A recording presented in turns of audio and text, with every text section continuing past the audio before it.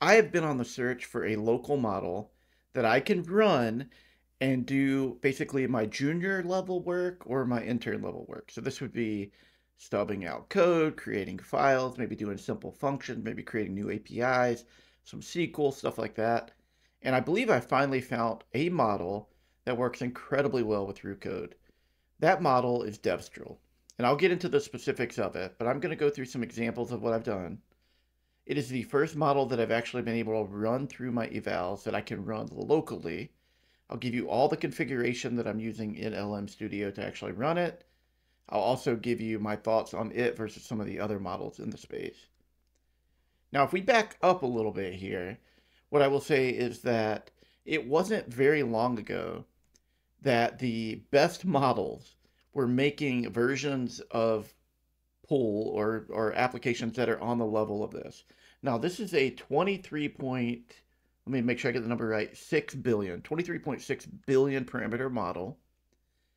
And I'm running the Q6 version of it you, from Unsloth. I did find that using the Unsloth variants actually score a little bit higher on my evals. Now, I haven't ran every variation, but compared to the LM Studio uh, specific one. This is the first model that can complete my entire eval set. So much so that I'm thinking about abandoning something I've been working on off to the side, which is creating a local model evaluation set because the limitations of running them in AI coding assistants were so bad that I felt like I needed to highly simplify down the problem. But that's not the case. I've ran, if you look over here in VS Code, I've ran Billards. I've ran a Python version of Billards, Connect 4, Connect 4 with no specification. So I wanted to do a verification. Uh, I wanted to understand what it does with a game or an application that gets very specific specifications. I wanted to see what it could do with just kind of the more high level, esoteric sort of, you know, build a Connect 4 game. I've got landing pages, uh, a maze, Sudoku, traffic, whiteboard, you name it, all of those worked in different technologies. I also pulled it into my production code base and ran it on simple things like removing comments, fixing an error in a function, adding a new API, and it worked. It doesn't always like give you the exact best answer, but if you can tell it specifically what you want to do, this is a workhorse of a model. It can just go do it. So if we take a look at this example here, again, this isn't a great uh, a great app, but the physics actually work. I'm telling you, it wasn't that long ago when things like this just did not even work in big models.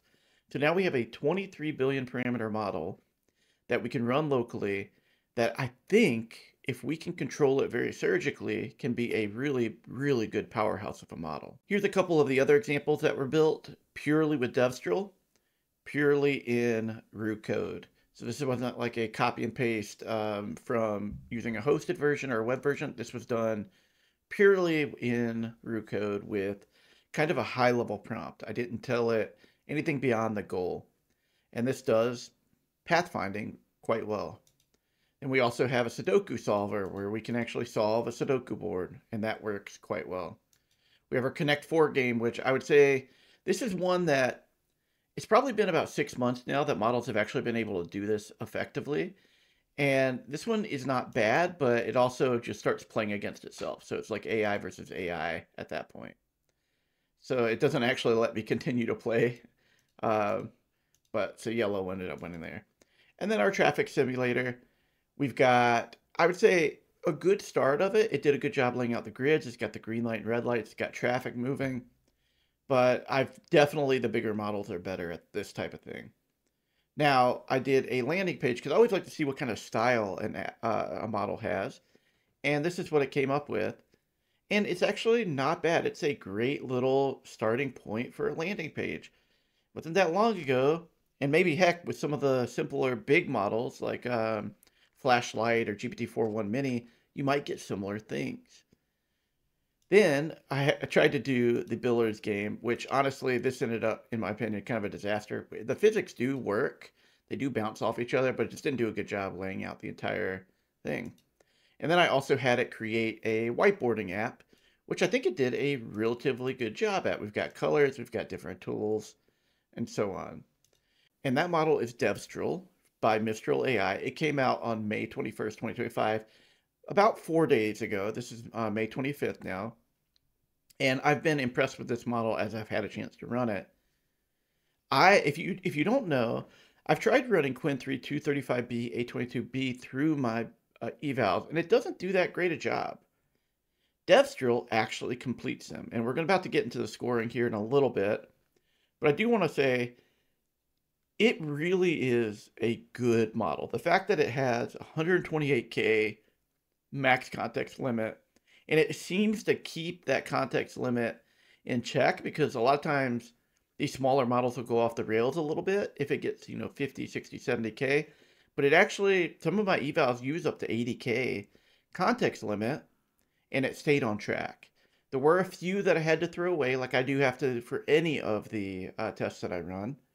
But in general, this did a great job, especially if I tuned in the settings that I'm going to talk about here in a second. Which, let me jump over to that here real quick. So the one that I'm using is not the LM Studio one. I'm actually using the Unsloth one. And I'm using the Q6 underscore K, which actually has vision capabilities as well. So I actually was testing out the vision capabilities.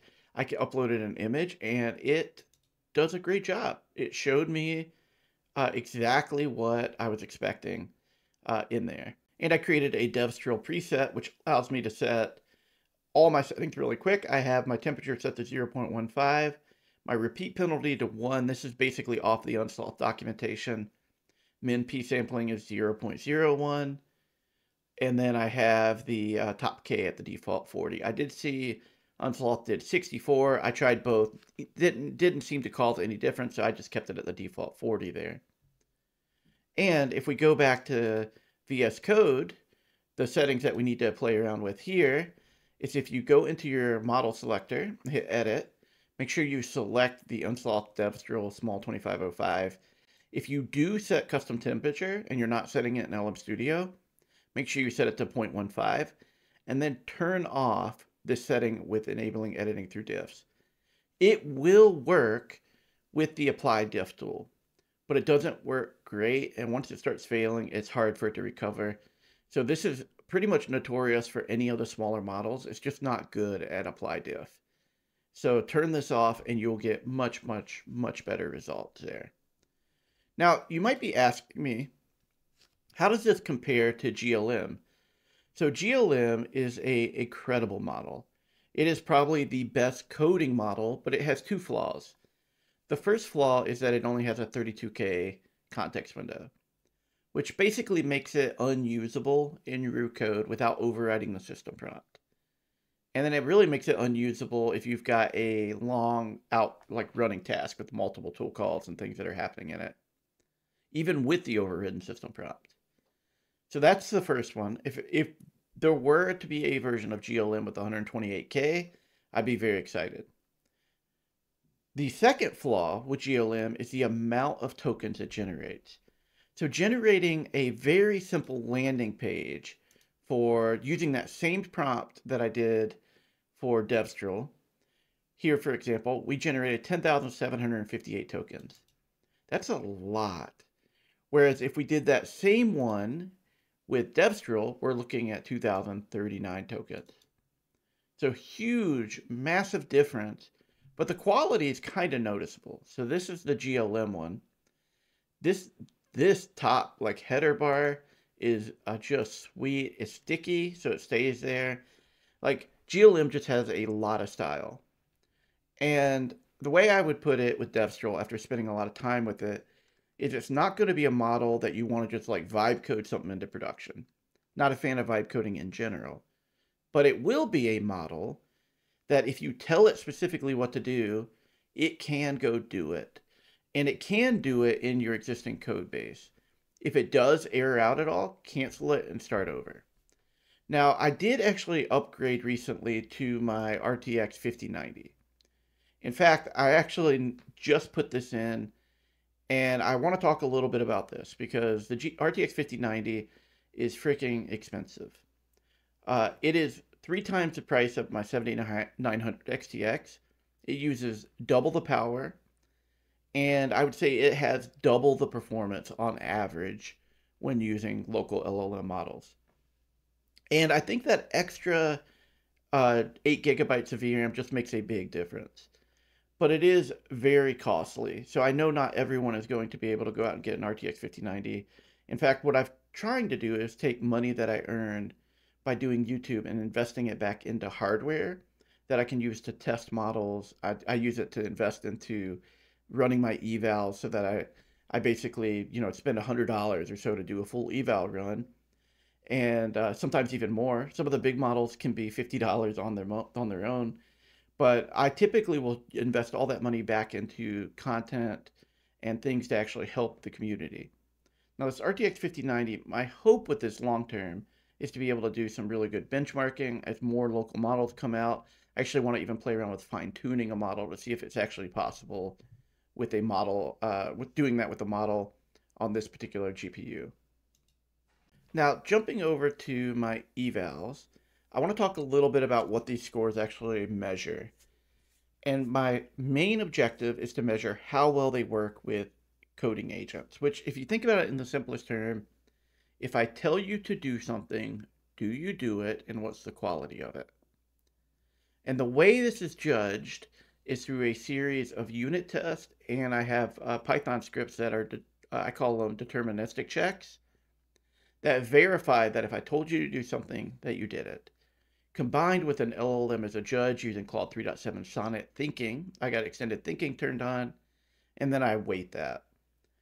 So what you're going to see here is scores basically on how well it follows instructions, how few tool calls it has, and just in general, is this something that you could actually work with in Roo Code in particular. I would love to have the bandwidth to be able to carry this off into other agents as well even trying it in Ollama, but it's just, it's very time consuming and I don't have a good way to automate the entire process right now. So I'm just limited on really cost and time. So that brings us to the evals themselves. So Devstral Q6 uh, from Unsloth, which is the one I'm currently running locally, gets a 56.9%, which is very similar to Gemini 2.5 Flash. Now, Gemini 2.5 Flash has a lot more context window, and I would argue is faster. But the fact that I can get a local model on about that level of of ability in Roo Code is just amazing to me. I actually was giving up hope slightly until I started testing this model because either the good models have low context windows or the the basically the model comes out and just doesn't work at all with Roo Code. And then the Q8 version, which I tested, is scores slightly higher. So you can see a slight drop in scoring, you know, when you go down in quantization. If you were to go down to Q4, I imagine it would also drop slightly as well. I didn't have time to test all the test suite through that. So to touch on something else here, we look at SWE1. SWE1 is another model that is a smaller model. We do not know the size of it, but maybe the SWE1 Lite model is around the size of Devstral. Uh, I don't really know. But if it is, if the light version is, maybe it's double the size, it shows you that these highly tuned, highly specific coding models can actually do incredible, incredible stuff. So I'm very curious over time how this is going to play out because I think these more hyper-focused models is the future because it helps keep costs down for coding but it also helps them fine tune it for the outputs that we particularly want. And to close out here, this is literally the first model that I've been able to run fully through my evals. When I use GLM, I can get through a couple of my smaller uh, tasks that I have, and it will score higher. It does a really good job. It outputs a lot more tokens, but it eventually blows out of the context window, even if I have it maxed. So this model is something that I would highly consider, and they even say it here, if you're building or using an agentic coding IDE plugin or environment, Devstral is a great choice to add to your model selector. Honestly, they are not wrong about that. And usually a lot of things that I see in these blog posts are marketing mumbo jumbo. But Devstral actually is good. If you have a card that has 32 gigabytes of RAM, consider uh, consider adding it. The other thing to touch on here is that there's a few settings that don't work on every model, but they seem to work really good on Devstral, which is the only reason I'm able to get that 100,000 context limit. It, which normally, what I'll see is I can get like 50 or 60, something like that. But if you turn on flash attention, you have your KV cache offloaded to GPU memory, and then you override Kcache quantization type and Vcache quantization type to its Q8 instead of the F16, you greatly reduce the amount of memory. So this, the my scores that I'm showing you are compressed. Like it's not going to be as high quality if these were just full precision. So it makes me very interested where this model will go long term. If there are like there becomes distilled versions of it or new iterations of it, I'm really excited about that. But anyway, these these three settings here are pivotal, at least in my setup with the Unsloth one, to be able to fit the full model in my GPU, all layers on my GPU.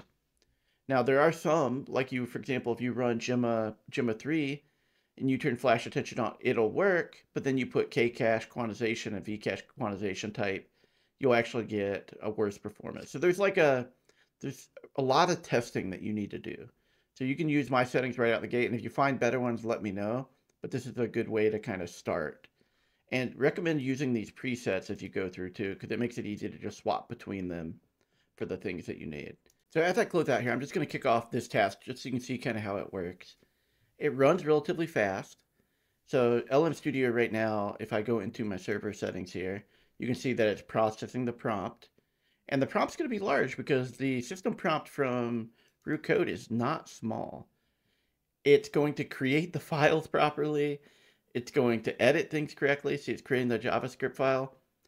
To me, this is actually really rare to have a local model working this well with Roo Code. I actually want to try this in other AI assisted coding tools. Uh, so I may actually do that as I kind of go forward with some my next project I'm working on, which is being able to evaluate per model which AI coding tool works the best with that model based on my eval set. Of course, everybody's everybody's uh, use case could be slightly different, but hopefully it gives us a data point to determine like is Augment Code better with Claude 4 than Claude Code. Uh, so that's what I'm going to be working on next, and I may, if I have time, try to get Devstral in the mix of that as too for the ones that I can actually Devstral to. Anyway, that's going to wrap this one up. Hopefully, this has been helpful to you.